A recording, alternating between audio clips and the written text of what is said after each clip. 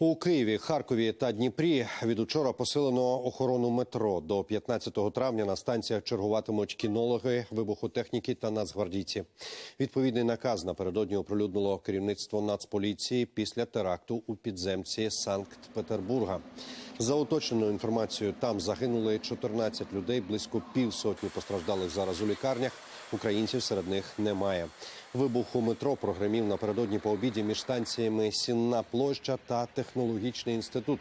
Ще один саморобний вибуховий пристрій згодом знайшли на станції площа повстання. Інцидент кваліфікували як теракт. Він стався у той час, коли у Петербурзі перебував президент Путін. Після того, як фото підозрюваного опублікували, він сам прийшов до поліції, аби заперечити свою причетність. Нині з ним працюють правоохоронці. За останню інформацію у метро у Санкт-Петербурзі відновило роботу.